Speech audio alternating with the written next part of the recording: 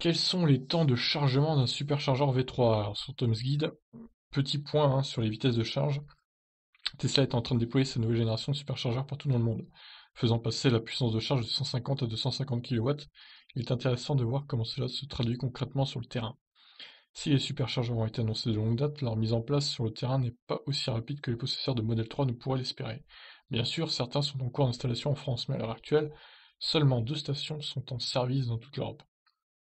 Chanceux sont les habitants de Londres et de Liertopen en Norvège. Ils sont aussi, ils sont pour l'instant les seuls en, Europe à pouvoir profiter des 250 kW du superchargeur V3 pour recharger leur modèle 3. En France, deux sites sont en construction, l'un à Saint-Laurent-sur-Manoir, près de Périgueux, l'autre dans la zone commerciale de Champniers, au nord d'Angoulême. Deux autres emplacements se sont vus attribuer un permis de construire à Gers dans les Pyrénées-Atlantiques et sur l'aire de service Port euh, Sud en Haute-Garonne, mais le type de superchargeur est encore inconnu. Nos collègues d'Inside Divise ont décidé de mettre le superchargeur V3 à l'essai pour déterminer quelles sont les durées de chargement que l'on peut espérer avec une Model 3. Pour rappel, seuls les Model 3 et Model Y sont capables de tirer parti de 250 kW que délivre le chargeur. Les Model S et Model X sont limités à 180 kW. Seule la Porsche Taycan fait mieux en termes de puissance acceptant 270 kW grâce à sa batterie de 800 volts sur les chargeurs Unity.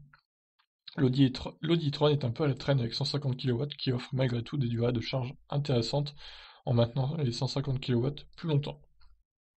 Oui, c'est vrai qu'on peut lui reconnaître ça, l'Audi e-tron, il charge quand même assez vite. Mais bon, c'est vrai qu'il consomme beaucoup, donc au final, ça s'annule un peu. Il faut en effet savoir que, que seuls les 24 premiers pourcents de batterie se chargent à 250 kW. La puissance est ensuite réduite. La puissante, et oui évidemment, il manquait un C pas un T du coup. Hein. Partant d'un niveau de charge de 5%, il lui a fallu 13 minutes pour atteindre les 50% de charge. Alors c'est vraiment pas beaucoup, hein.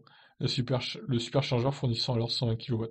Il a fallu 28 minutes pour atteindre les 80%, alors à 54 kW.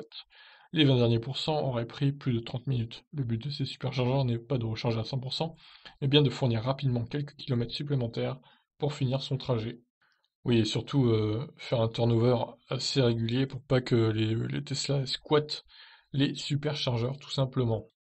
Surtout pendant les vacances, hein, c'est vrai qu'il faut qu'il y ait un turnover assez important. En tout cas, voilà, ça recharge très très vite hein, quand même. Il a fallu juste 13 minutes pour atteindre 50%, hein, pour récupérer donc environ 37-38 kWh de batterie en 13 minutes, c'est monstrueux quoi.